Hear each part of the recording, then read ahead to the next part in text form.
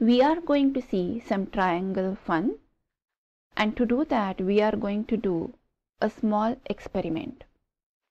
So take a piece of paper and draw a triangle on it.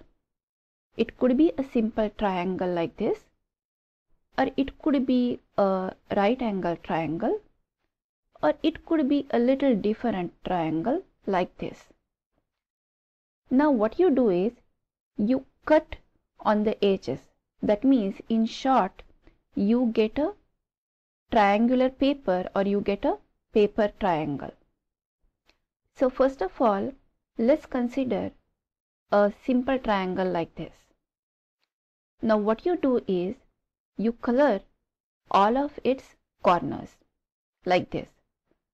So once you color all these corners, what you do is you cut the corners. So once you cut the corners, it's going to look like this. So now I have three corners. Now I'm going to bring these three corners together.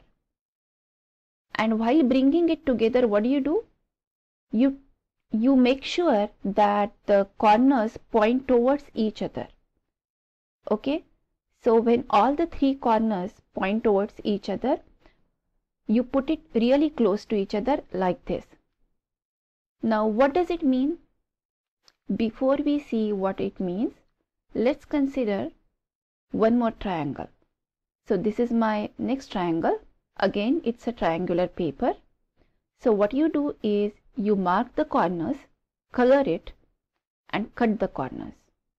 So once I cut the corners, it's going to look like this.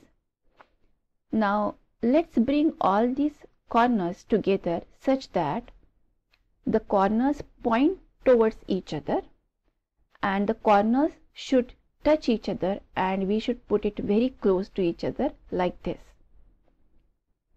Now if you look at both the shapes that we achieved, you can see that the place where the corners touched each other, we have got a straight line there, right? Where all my corners come together and touch each other. At that place or at that point, I can see that I get a straight line. And what is a straight line called? A straight line is also called as a straight angle and it measures 180 degrees. So what I understand here is that when I bring all the three corners of a triangle together, I'm getting a straight angle.